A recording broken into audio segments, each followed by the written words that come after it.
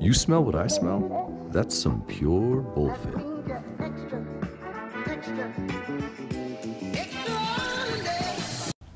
Yennefer is a great many things. Strong, beautiful, but she's not someone you make angry.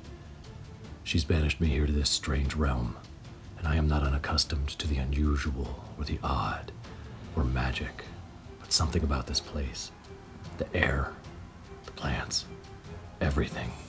Just feels different.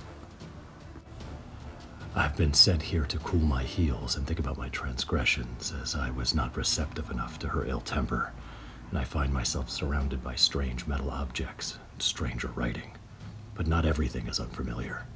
This building, it reminds me of a school, an academy, perhaps a guild.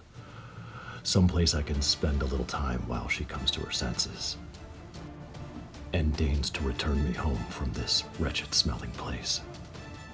I find the walls are covered in pictures of what I can only assume are their great warriors, striking poses, fearlessly wearing the smallest amounts of clothing, a sight I'm not altogether unfamiliar with.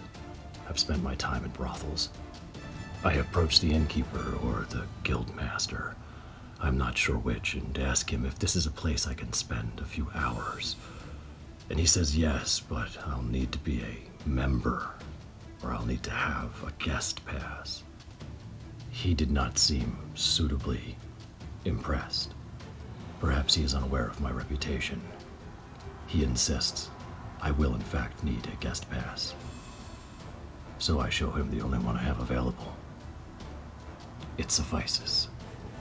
I do my best to blend in with the strange customs of the locals. They seem to delight in walking in place, moving their bodies without traversing any distance. But as always, I am greeted with strange looks and standoffishness. I begin to explore the rest of the building, and it is filled with strange machines, a combination of cables and metal and resistance plates, presumably to help them make their bodies stronger. Stronger for what, I cannot tell.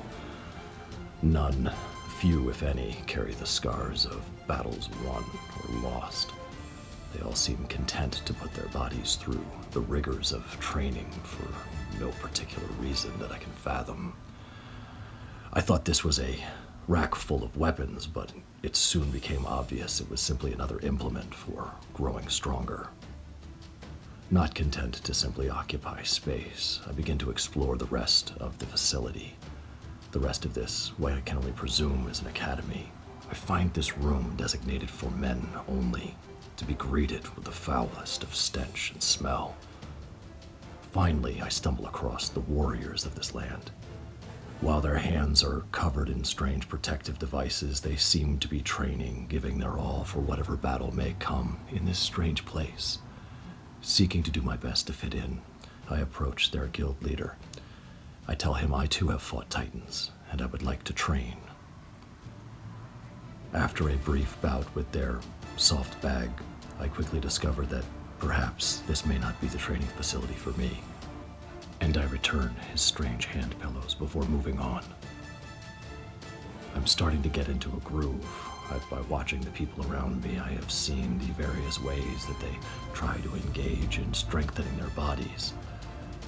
It is a relatively large facility, and I find many physical challenges waiting for me, but not all are wise. Some are just flat out stupid. But I find not everything is different here. Some essential, everyday movements are common across all the realms. I soon start to feel more and more like I fit in, and I'm getting less strange looks. The locals can even become quite friendly if you observe their strange traditions of greeting and asking if you can work in. It was not long at all before they paid no regard at all to the way that I was dressed, my manner of speaking, or my strange appearance. In fact, I find this place welcoming to all, even a witcher like me. A place where anyone can go to seek self improvement. I wave to the innkeeper as I leave, and he requests his towel. But a witcher must be paid. There is pay, and there is monsters. Seldom both. What's up, motivators? Some of you might be wondering what the hell is going on. A couple months ago, I put out a challenge for you folks to tell me who you wanted me to dress up as and go to the gym, and you all picked overwhelmingly The Witcher. But this isn't about just magic and sorcery and silliness and all of that. There is a point to all of this. There's this persistent notion put out there, like companies like Planet Fitness, or the health at every size and fat acceptance that you're not welcome at the gym, you're gonna be treated poorly just for showing up. And I wanna combat that notion. I dressed up in a silly ass costume and I told like two people so that they could help me out with it. Showed up at the gym and within minutes, I was accepted. The point is, gymtimidation is nonsense. Be silly, be weird, be out of shape, be big, be small, but you are welcome. All right, Yennefer, I learned my lesson. Are you hungry? Yes, I could eat. Okay, so what would you like to eat? I don't know. You sent me to this godforsaken realm. What do you want to eat? I told you I don't know. Yennefer, what do you want? I want everything!